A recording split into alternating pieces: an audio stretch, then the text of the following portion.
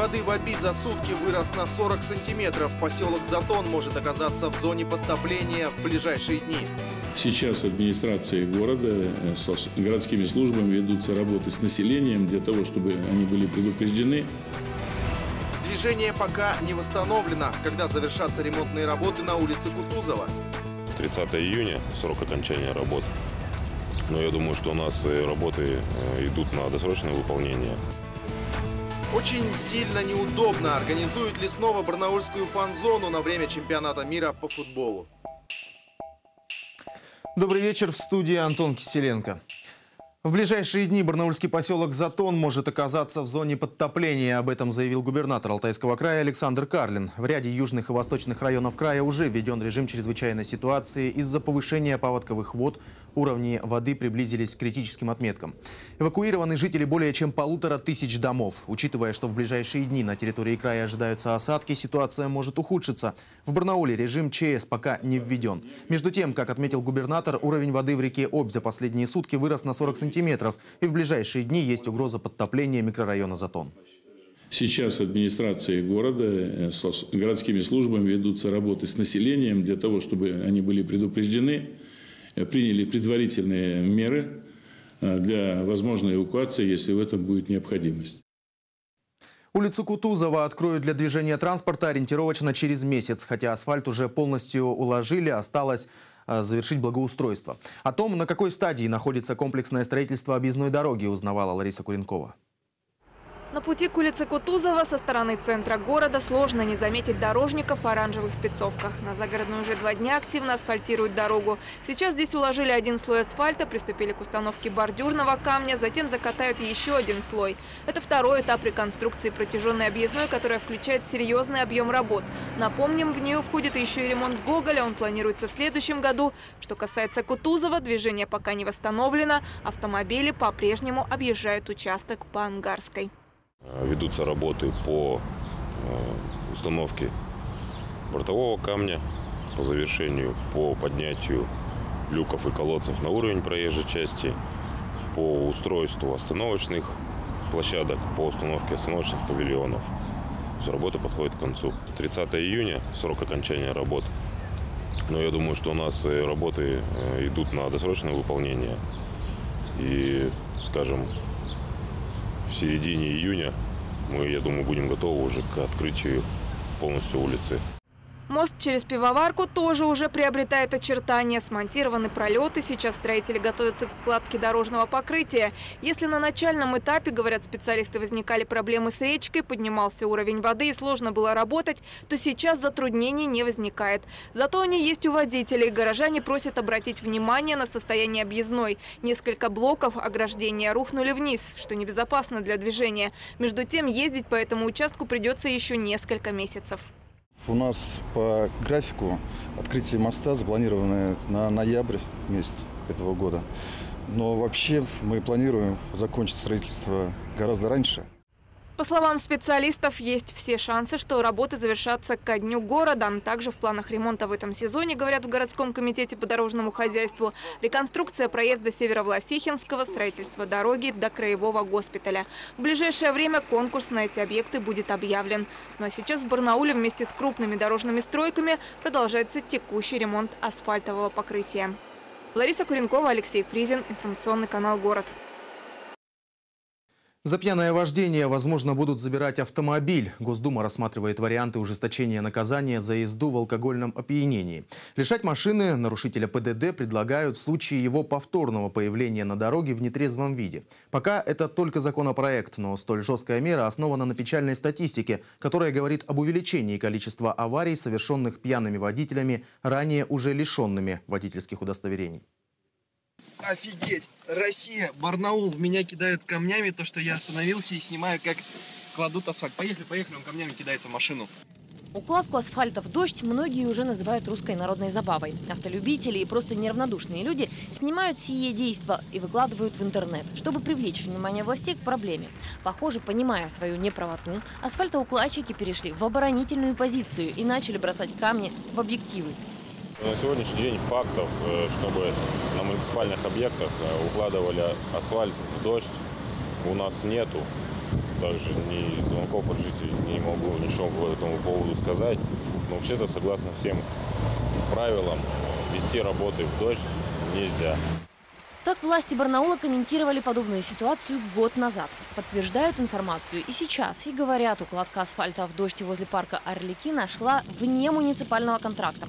Якобы заказчик – частное предприятие, которое делает парковку для автомобилей. Руководитель строительной организации пояснил, что в данном случае в мокрой укладке асфальта нет ничего страшного. Они уже сделали хорошую подушку, а сверху положат еще слой. А если будет брак, готовы переделать и даже принести извинения автору ролика. Другое видео житель Барнаула снял на загородной трассе. Маршрутный автобус малой вместимости с пассажирами на борту пытался выкинуть с дороги «Жигули». Противостояние длилось несколько минут, пока «Форд» не сломал боковое зеркало представителю отечественного автопрома. А после бросился в бега. Остановил хулигана автор съемки, который и выяснил, что причиной таких разборок стал неудачный обгон «Жигулями» автобуса. У первого не хватило мощи быстро совершить маневр. Появилась встречка. И он сдал назад, а водитель «Форда» решил, что его подрезали и начал мстить. Они решили этот вопрос на месте. То есть водитель э, Форда заплатил за разбитое зеркало. И у водителя «Жигулей», как я у него потом спросил, он говорит, я претензий теперь не имею. За поведением на дороге и за соблюдением всех правил дорожного движения скутеристами будут пристально следить сотрудники ГИБДД в Барнауле. 30 и 31 мая они проведут профилактическое мероприятие по выявлению нарушителей на двухколесных. Таких инспекторы ежедневно находят около 15. Целенаправленно проверить умение быть послушным участником движения назрело из-за статистики. В краевой столице в этом году уже произошло больше 20 ДТП с участием вело- и мототранспорта. Один человек погиб. Галина Юмашева, Александр Антропов. Информационный канал «Город». 1 июня вступает в силу вторая часть антитабачного закона. К местам, где нельзя будет курить, добавятся поезда, вокзалы, гостиницы и рестораны. А накануне сотрудники полиции проверили, как исполняется первая часть закона. В этом им помогла добровольная народная дружина. Нарушителей, а их оказалось немало, стражи порядка застали за курением на территории учебного заведения.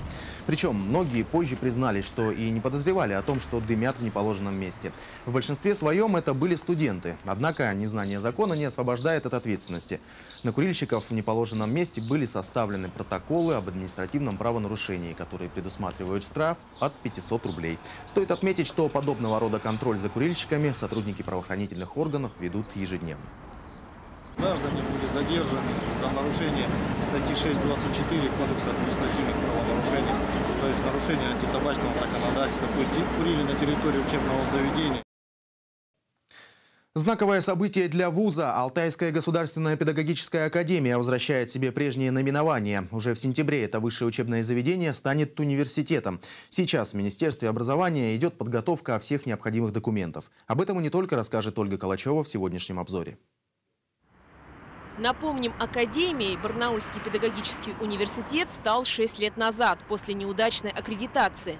В 2012 году по результатам мониторинга Миноборнауки даже назвал вуз неэффективным по ряду признаков.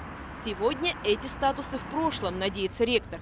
Последние два года стали переломными. По большинству московских показателей Академия опередила многие алтайские вузы. В этом году получила медаль «Лучшие вузы России». Но главное, с честью прошла в Москве очередной разбор деятельности некогда университета. Это знак того, что внимание к учителю в целом, в широком смысле э, возвращается, и престиж этой профессии будет очень высоким. А сейчас о другом вузе, техническом. Накануне здесь определяли победителей программы «Умник». 26 финалистов со всех вузов Барнаула представляли свои научно-технические разработки. В результате конкурсного отбора комиссия определила 12 победителей.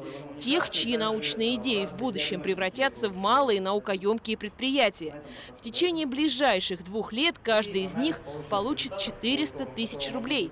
Таков размер гранта, который выделяет Федеральный фонд содействия развитию малых форм предприятий. Кстати, эта структура создана правительством России. Мы первый раз на Алтай, в Алтайском крае, и мы смотрим проекты, они очень хорошие, здесь всегда хорошая подготовка проектов, с ребятами предварительно ведется тренинги. Шесть школьников на Алтае накануне были удалены с обязательного экзамена. Выпускника из Бийска поймали со шпаргалкой, а пять других, жители Рубцовска, Славгорода и Табунского района, пытались воспользоваться сотовыми телефонами. Таков предварительный итог аттестации по русскому языку. Напомним, на первом в этом году ЕГЭ отличилась жительница Барнаула. Она пронесла сотовый телефон пункт проведения 26 мая. По всем семи случаям сейчас проводятся проверки. Скорее всего, результаты выпускных испытаний будут аннулированы. За час работы арестовано 15 сотовых телефонов. Взыскано больше 10 тысяч рублей. В канун Международного дня защиты детей судебные приставы вновь попытались пробудить совесть должников. Тех, кто не выплачивает алименты своим детям. Таких в крае 23 тысячи. Своим деткам они задолжали в общей сложности 4 миллиарда рублей. На встречу сегодня пригласили только 50 самых злостных. Представители светской и духовной власти вместе попытались заставить их вспомнить о своем родительском долге. Ольга Калачева, Николай Шилко, информационный канал «Город». Чистый поток. Глобальную уборку провели сегодня в Октябрьском районе краевой столицы. С потока было вывезено 43 машины мусора. Это уже второй масштабный десант коммунальщиков в эти места за последние пару месяцев. Подробности у Алексея Янкина. Вот эти останки аварийного дома около года покоятся на Пятой Западной. Уже, можно сказать, намазолили глаза местным жителям. Сегодня весь мусор должны вывести на полигон твердых бытовых отходов. Несмотря на то, что месячник саночистки прошел в апреле, сразу несколько коммунальных организаций района 30 мая объявили бой несанкционированным свалкам. Среди них «Экоград», «Дорожник-2», управляющие компании. Сегодня у нас э, привлечено 16 единиц техники, то есть погрузочно-разгрузочной техники различных предприятий, то есть района. Э, значит, работает 40 э, э, дворников управляющих компаний на прилегающих территориях, которые есть. И вот, как я уже сказал, еще дополнительно создана бригада летучая такая из 10 человек, которая работает на незакрепленных территориях, ну, будем так называть, на бесхозных территориях. Два трактора и столько же грузовиков очищали от мусора контейнерную площадку на улице Чудненко. Ветки и стволы деревьев, а также бытовой мусор в течение трех месяцев образовали здесь настоящий завал, справиться с которым своими силами дворник, увы, не может. Только за первые часы работы отсюда вывезли несколько машин. Что касается вывоза, вот на данный момент уже 7 машин вывезено, и еще машины 3. Каждая машина 2000. Жителям постоянно говорим, что это достаточно дорогое удовольствие. Не только несанкционированные свалки и контейнерные площадки сегодня зачищали коммунальщики. В ходе субботника были очищены и так называемые бесхозные территории. В частности, удалось вернуть достойный вид парку химиков на улице Эмилии Алексеевой. Алексей Янкин, Алексей Фризин, информационный канал «Город». Три барнаульских художника показали себя внутри и снаружи, а в Театре музыкальной комедии замахнулись на «Маугли». Об этом и не только расскажет Елена Кузовкина в обзоре событий культуры. В галерее «Бандероль» выставка трех молодых художников. Объединившись, они решили показать себя внутри и снаружи. Так и назвали экспозицию. Ироничные и веселые иллюстрации от Светланы Климовой, эксперименты с формой и цветом от Кирилла Лисиченко, мистические образы-портреты от Алены Плющевой. Они очень разные, но, по мнению тех, кто формировал экспозицию, получилось довольно гармонично. На наш взгляд, у авторов этих работ внутри и снаружи творится случается что-то странное. Мысли обретают подобные формы, а пережитое когда-то воплощается в таких вот образах. Например, э, работа Алены Ом. Она очень яркая, очень свежая, такой образ легкий и немножко фантастичный, при этом открытый. То есть она смотрит прямо в глаза, как вот прямо в душу. В галерее «Кармин» выставка совершенно другая. Ее задумали еще год назад в память об ушедшей жизни Майе Дмитриевне Ковешниковой. Все музеи Барнаула, в которых есть ее картины, с удовольствием предоставили их. Откликнулись коллекционеры, конечно же, родственники. В одной из статей искусствовед Любовь Шамина сказала, «Диву даешься, как в этой маленькой хрупкой женщине могла уместиться живая красота огромного мира». В экспозицию вошло 78 работ. Это очень много и вместе с тем ничего. Ведь творчество Ковешниковой практически безгранично. Наверное, поэтому возникла трудность с названием выставки. И об искусстве, и о том, о сём, строчки стихов каких-то были. Ну вот Галина Грантна как-то вот увидела, что почти все Дариные работы ею подписаны «Искренне Майя». И такое название очень хорошо пришлось вот ко двору этой выставки. До премьеры всего лишь один день. Напомним, в Театре музыкальной комедии 1 июня покажут сказку про мальчишку, который вырос в волчьей стае. Сегодня мы побывали на генеральной репетиции, увидели актеров, можно сказать, во всей красе. В роли Маугли Виталий Селюков, солисты хора и балета «Бандерлоги» Илья Зуев, Мудрый Каа, причудливые костюмы, яркое оформление сцены, авторская музыка, режиссер Константин Яковлев. Премьера Маугли 1 июня.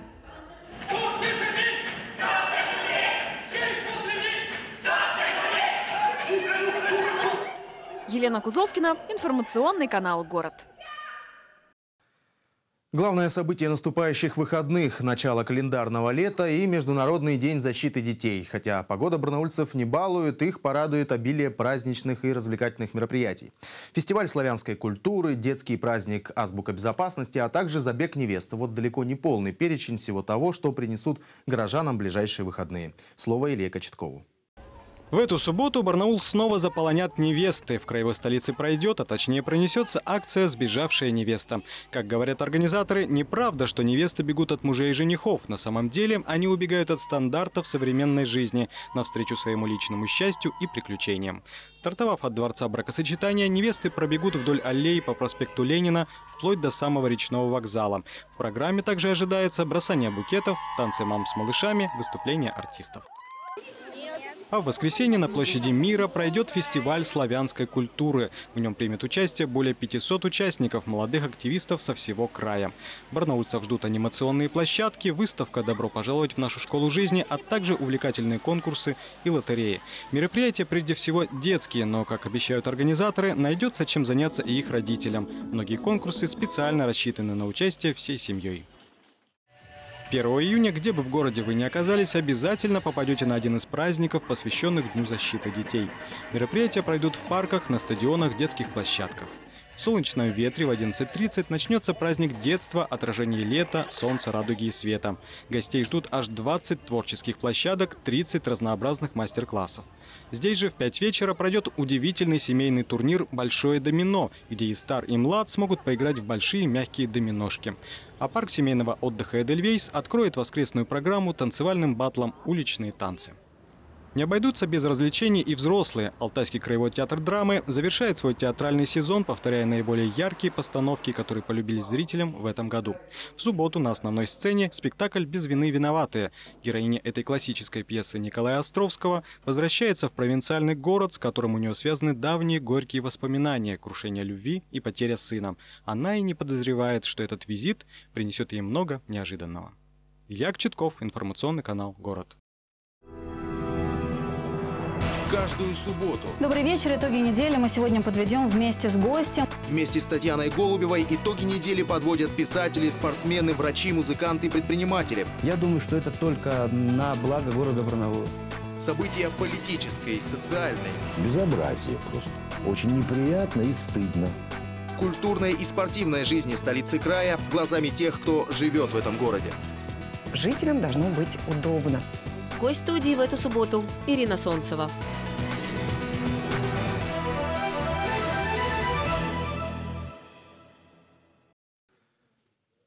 Впереди прогноз погоды на ближайшие выходные и начало следующей недели от Александра Люцигера, начальника Краевого центра по гидрометеорологии и мониторингу окружающей среды.